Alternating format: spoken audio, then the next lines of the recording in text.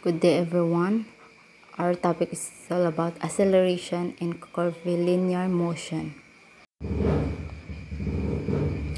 Acceleration in curvilinear motion, the acceleration vector with, with A equals d over dv over dt equals d squared r over dt squared equals d squared x over dt squared and i plus d squared y over dt squared and as z is ang g is equals a.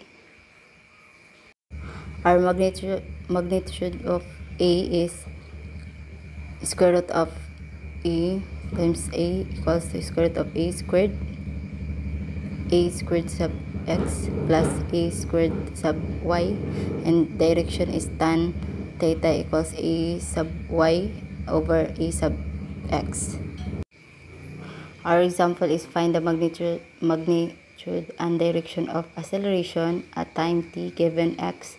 x is equal to 2 minus t, y, y is equal to 2 t cube minus t then at t equals to 1 so a x is equal to 2 minus t then dx over dt then v sub x is equals negative 1 then d squared of x is over dt squared equals a sub x equals to 0 then at t is equal to 1 then a sub y is equal to 12 then y is equal to 2t cubed then d squared dy over dt equals b sub eh, y equals t 6t squared minus 1 then d squared y over dt squared equals a sub y